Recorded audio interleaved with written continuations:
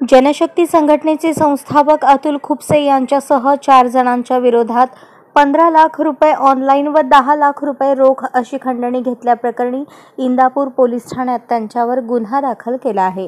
याबाबत N P infra project private limited कंपनीचे supervisor Satish Kisan Bhukan यांनी दिलेल्या फिर्यादीवरून अतुल खुपसे आणि बालाजी शिरस्कर राहणार उपळवटे तालुका माढा जिल्हा सोलापूर यांच्यासह विजय देशमुख अविनाश देशमुख यांच्याविरुद्ध गुन्हा दाखल केला आहे.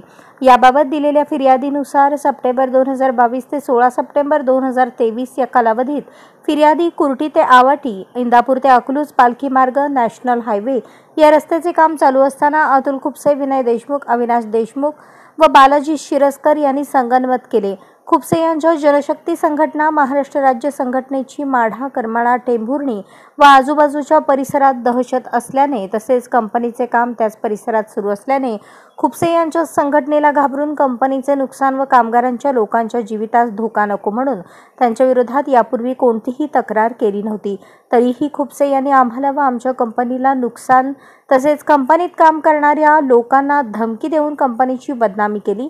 तसेच कंपनीच्या बँक खात्यातून आर आरटीजीएसद्वारे पंधरा लाख रुपये व पुणे हडपसर येथे फिर्यादीच्या कमरेस चाकू लावून जिवे मारण्याची धमकी देऊन रोख दहा लाख रुपये खंडणी घेतली. यावरून गुन्हा दाखल केल्याची माहिती पोलीस निरीक्षक दिलीप पवार यांनी दिली. याबाबतचा पुढील तपास सहाय्यक पोलीस निरीक्षक राऊत हे करत आहेत.